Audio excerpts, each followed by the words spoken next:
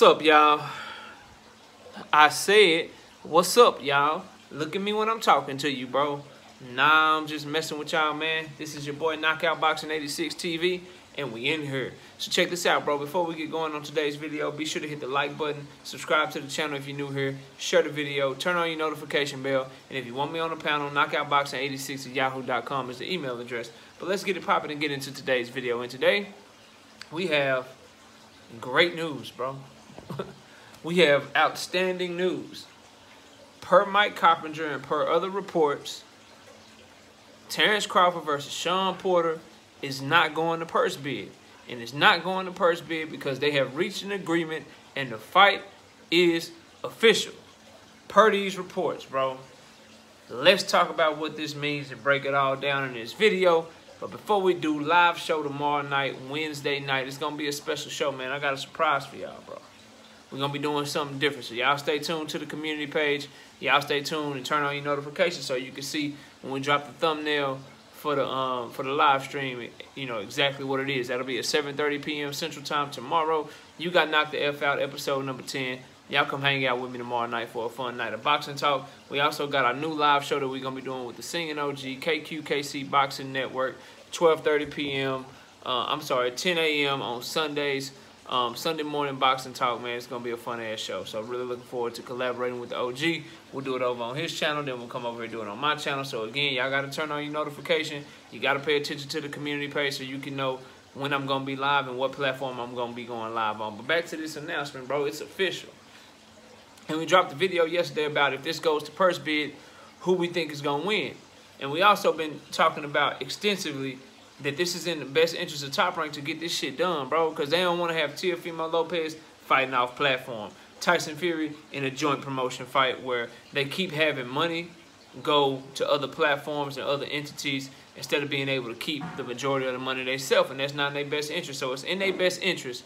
Since this fight is mandated by the WBO, it would be in their best interest to do whatever they need to do to make sure this fight doesn't go to purse bid so that they, because you got to work out the deal before you have competition, bro. It's best while they don't have competition, while they were in this negotiation window, it's best for them to get the fight done. It looks like that's what they did, bro.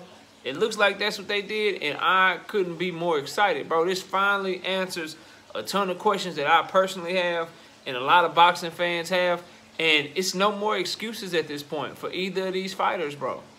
It's no more excuses at this point. No more naysayers can say anything. This fight will answer a lot of questions. So here's what I don't want to have happen, bro. Here's what I don't want to have happen. I don't want people, if Terence Crawford goes in there and dominates Shawn Porter, this is what we can't do as boxing fans.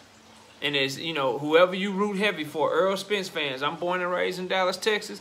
I'm a huge Errol Spence supporter. But I'm here to tell you right now, bro. I don't want to hear shit about Shawn Porter being Errol Spence's leftovers. I don't want to hear that shit. If Terence Crawford goes in there and beats him, I don't want if if Terence Crawford pulls this off and dominates Shawn Porter or wins, period, bro. If he's able to win this fight, he deserves full credit. He deserves full credit from everybody, bro. I don't care who you root for. I don't care if you like him personally, business moves. Like I have my own criticisms of Terence Bud Crawford. But inside that ring, if he pulls this off, he gets full credit for that shit, bro. He has to. Because we would give any other fighter full credit for beating the Shawn Porter, bro. Shawn Porter goes in there and fights Manny Pacquiao. Manny Pacquiao would get full credit. Shawn Porter fights Vergil Ortiz. Vergil Ortiz would get full credit. Shawn Porter fights Stanionis. Stanionis would get full credit. Shawn Porter fights Jaron Ennis. Jaron Ennis gets full credit. And y'all might be like, well, knockout, why you bringing up all these prospects and shit? Because he done fought all the champions and shit. He done fought all the other top level guys not named Terence Crawford. You name one. Errol Spence, Shawn Porter fought him. Keith Thurman, Shawn Porter fought him. Danny Garcia, Shawn Porter fought him. Kell Brook, when he was at his apex, Shawn Porter fought him. Devon Alexander, when he was the man, Shawn Porter fought him. Yordenis Ugas. When Yordenis Ugas was a top level contender, Shawn Porter fought him. So, Shawn Porter is everybody's leftovers if you want to have that logic, bro. If you want to have that logic, he everybody leftovers. We can't do that because he's been very competitive in every single fight that he's been in. And he just, and and so we gotta have that same standard for Terence Crawford. This is a top level fight. He's fighting a top five welterweight. This makes his resume astronomically better if he's able to win. All right. And that's just a spade being a spade. So we got to get a man full credit if he goes in there and wipes the floor with Shawn Porter. Or just beats him, bro. Shawn Porter on your resume ain't shit to scoff at, bro. We're not going to denigrate the win. We can't downplay the win because you may not like some Terence Crawford fans, bro. Or you may not like some of the stuff that he said or some of the stuff that he's done. You got to separate that shit. You got to separate that shit and you got to call a spade a spade. And the spade here is this is a high level fight. All that leftover shit, I'm not trying to hear that, bro. If you if you calling Shawn Porter Errol Spence's leftovers to try to denigrate or win if Terence Crawford was to win, bro, you ain't really on that on this boxing shit like that. You you got a certain agenda, certain narrative and shit that you pushing, and you ain't really into the sport like that. Cause everybody that's into the sport that I know personally, that I know that's making content on here, that I know in my own personal life that really love boxing, bro, Everybody know this is a big ass fight and is a tough ass test for Terence Crawford. So he passed his test, he get full credit for passing the test, and vice versa. Vice versa for Shawn Porter. Look, for Shawn Porter, you've been doing a lot of shit, bro. You've been calling fights. You got your podcast on. You know what I'm saying? I just read a quote from you yesterday where you was like, I don't know what's going to happen, but it's going to be a great fight. I need some more confidence from you, homie. This your last shot, bro. I need some more focus and I need some more confidence. I ain't saying he not focused, but he needs to get us the level of the attention to detail and the level of focus that it requires and that it deserves, bro. I don't want him to be there just to put on a close fight.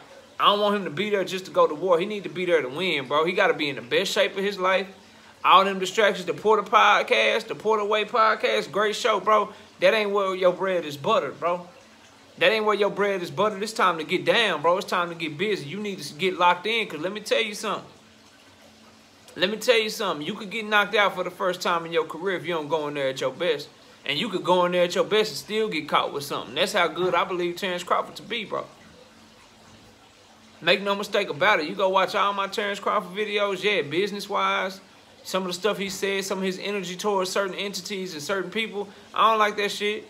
But you ain't never heard me denigrate his talent or, or, negatively criticize his talent and what he can do in that ring and what I believe he's capable of. So if you Shawn Porter, bro, you you very talented yourself. You are by far the more battle tested of the two fighters. And maybe that can go to your advantage. But let me tell you, it's not going to go to your advantage if you focused on calling the fights and being an analyst and shit. That one foot in, one foot out shit, bro, to get you mopped. That one foot in, one foot out shit is to get you mopped, bro. It straight is. You need to tell Fox. You know what I'm saying? You need to tell NBC. You need to tell truly need to tell whoever else. You ain't announcing no more fights till after November 20th, bro. You need to be in camp yesterday for this shit. You need to be in camp yesterday for this shit. Because one thing we know about Terence Bud Crawford, he in shape. He could probably fight tomorrow. And Shawn Porter ain't never just walked around out of shape. That ain't what I'm saying. What I'm saying is, I don't like all the distractions, bro. I don't like all the, like, because that shit take energy. That take time. That takes studying. You know, you got to know the fighters and shit. You got to get on flights and go to these events.